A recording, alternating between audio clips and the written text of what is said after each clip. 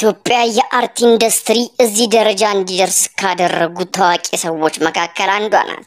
ወደ art ከገባች ሀያ ዓመታትን ያስቆጠረች ሲሆን ሙሉ ጊዜዋንም ለ art በመስጠት ጠንካራ ነበረች። ታዲያ ስለዚች አርቲስት አስደንጋጭ መረጃ ደርሶናል። ማናት የሚለውንና መረጃውን ይዘንላችሁ መጥተናል። ለቻናላችን አዲስ የሆናችሁ አድማጭ ተመልካቾቻችን ቪዲዮን like እና share በማድረግ ለሁሉም እንዲደርስ ያድርጉ። እስከ ፕሮግራማችን ፍጻሜ አብራችሁን ቆዩ።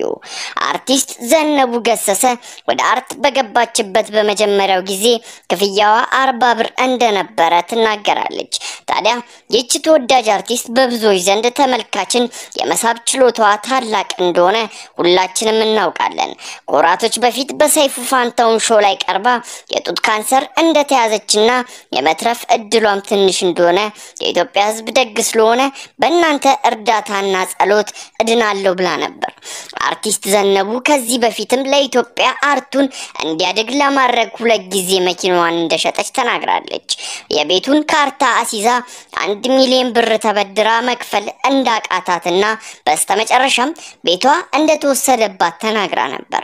አርቲስት ዘነቡ አርባ በላይ ፊልሞችና በርካታ ቲያትሮችን የሰራች ሲሆን ከአራት በላይ ተከታታይ የቴሌቪዥን ድራማዎች ላይ ተሳትፋለች። አርቲስት ዘነቡ በቀኝ ጡቷ ላይ በደረሰባት የካንሰር በሽታ እጅግ የሚወዳትና የሚያደንቋት የስራ ባልደረቦቿን ጨምሮ የገንዘብ ማሰባሰብ እርዳታን ሲያደርጉላት ነበር። ታዲያ ገንዘቡም ተሳክቶላት ሕክምናውን አድርጋ ነበር። ካንሰሩ ሙሉ በሙሉ ባይወጣም ከጡቷ ውስጥ ያለው እጢ ወጥቶላት ደስ ብሏት ነበር። እሷም ላደረጋችሁልኝ ሁሉ አመሰግናለሁ፣ አሁን ሙሉ ጤንነት ላይ እገኛለሁ ብላ ነበር።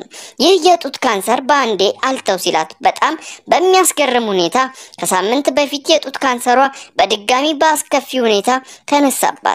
አርቲስት ዘነቡ እዚህ ጋር አበቃለሁ፣ በቃ ፈጣሪ ሆይ እዚህ ጋር ይሆናል መጨረሻዬ፣ ከዚህ የማልፍ አይመስለኝም ስትል ለልጇ ነግራት ነበር።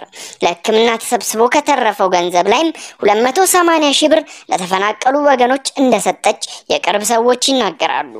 አርቲስት ዘነቡ ከዚህ በኋላ አልሞትም፣ የልጄ አምላክ አድኖኛል፣ የኢትዮጵያ ህዝብን እጅግ አድርጌ አመሰግናለሁ ብላ በ social media ደስታዋን ገልጻ ነበር። ታዲያ ይህ ደስታዋ ለወራቶች ብቻ ሆነባት። አርቲስት ዘነቡ ካንሰሩ በሰውነቷ በመሰራጨቱ ከሰሞኑ በጠና ታማ ሆስፒታል ገብታ ነበር። ዶክተሮች ከፍተኛ ክትትል ያደርጉላትም ህይወቷን ግን ማትረፍ አልተቻለም። ለዘመድ አዝማዶቿ እንዲሁም ለመላው ቤተሰቦቿ መጽናናትን እየተመኘን እኛ የዛሬውን ፕሮግራም በዚሁ ጨረስን። ሰላም ሁኑ።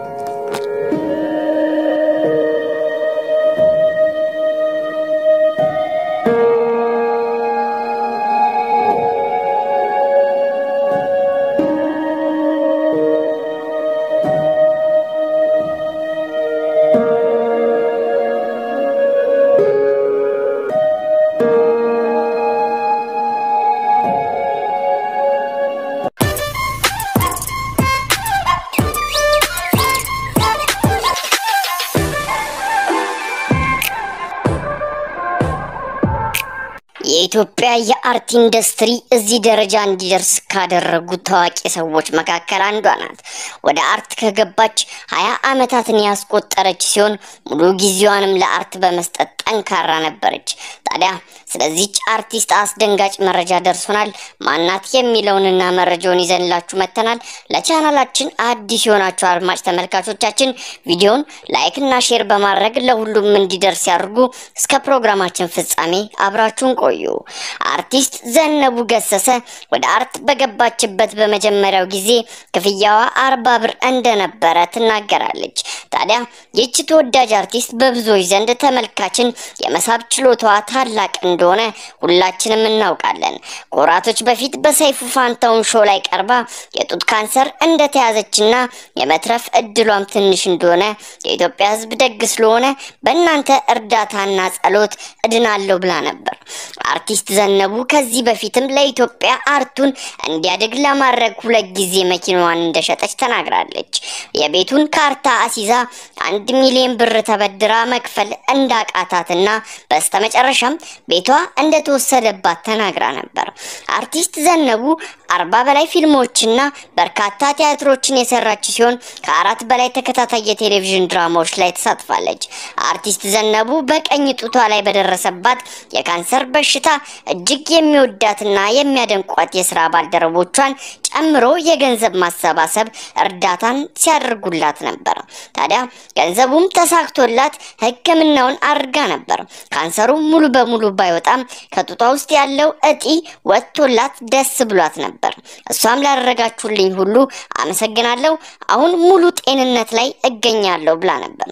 ይህ የጡት ካንሰር በአንዴ አልተው ሲላት በጣም በሚያስገርም ሁኔታ ከሳምንት በፊት የጡት ካንሰሯ በድጋሚ በአስከፊ ሁኔታ ተነሳባት። አርቲስት ዘነቡ እዚህ ጋር አበቃለሁ፣ በቃ ፈጣሪ ሆይ እዚህ ጋር ይሆናል መጨረሻዬ፣ ከዚህ ህመም የማልፍ አይመስለኝም ስትል ለልጇ ነግራት ነበር። ለህክምና ተሰብስቦ ከተረፈው ገንዘብ ላይም 280 ሺህ ብር ለተፈናቀሉ ወገኖች እንደሰጠች የቅርብ ሰዎች ይናገራሉ። አርቲስት ዘነቡ ከዚህ በኋላ አልሞትም፣ የልጄ አምላክ አድኖኛል፣ የኢትዮጵያ ህዝብን እጅግ አድርጌ አመሰግናለሁ ብላ በ social media ደስታዋን ገልጻ ነበር። ታዲያ ይህ ደስታዋ ለወራቶች ብቻ ሆነባት። አርቲስት ዘነቡ ካንሰሩ በሰውነቷ በመሰራጨቱ ከሰሞኑ በጠና ታማ ሆስፒታል ገብታ ነበር። ዶክተሮች ከፍተኛ ክትትል ያደርጉላትም ህይወቷን ግን ማትረፍ አልተቻለም። ለዘመድ አዝማዶቿ እንዲሁም ለመላው ቤተሰቦቿ መጽናናትን እየተመኘን እኛ የዛሬውን ፕሮግራም በዚሁ ጨረስን። ሰላም ሁኑ።